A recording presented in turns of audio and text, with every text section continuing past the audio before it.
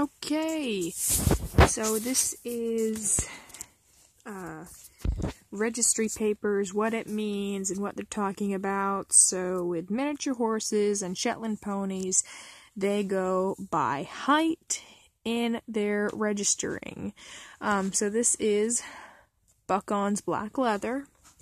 He's one of my stallions. Boone's Little Buckaroo was very nice, and his Sire Little King's Buck on Broadway, very, very nice. It's his pedigree there. Uh, so basically, this says permanent certificate of registration because before this, um, it's a temporary certificate of registration, and until they turn the age of three, you cannot get a permanent certificate of registration because uh, once they're three, you have to um, tell them how what the height is, and if they go over that height, then they can't be registered. So that's why they get a temporary certificate of registration. But he is uh, six now, so over three, and that's his height. Uh, and so he got a permanent certificate of registration because he was under it, so he was allowed. Um, and here is if I could get it. Um, here's the back of it. It's the back of the registration paper.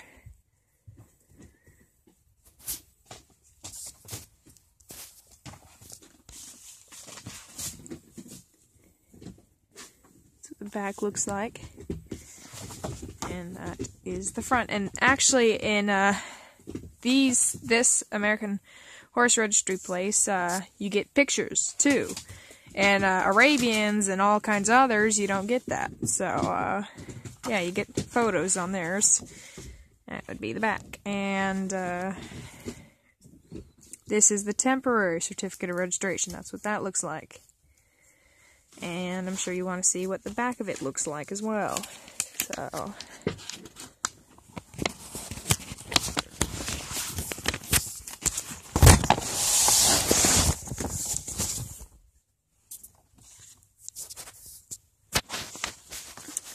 Here it is, Buck-on's Black Leather, same guy, it's just temporary because he was under the age of three. A picture of him as a colt, little stamped, and that's what the temporary certificate of registration looks like. That was for a miniature horse.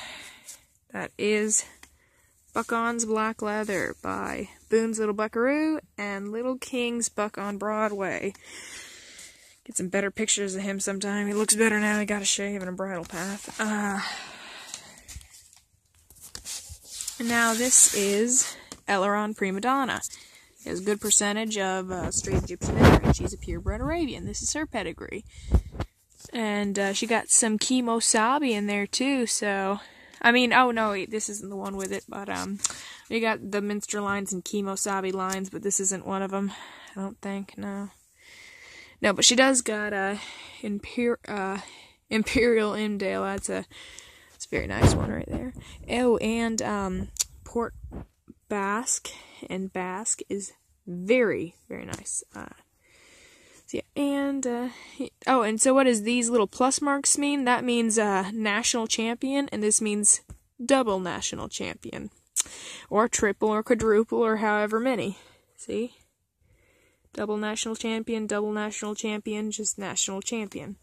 Which he actually got more credentials, but that's just the only stuff that they put on there. He got a lot more credentials. He is. You should look him up on allbreedpedigree.com. He's uh, in a few of my pedigree lines. Imperial Imdal. He's very nice. Um, yeah, so this mare's name is Eliron Primadonna. That's what a uh, uh, an Arabian registry paper looks like. And here's the back of it. That'll have its markings on it. Uh,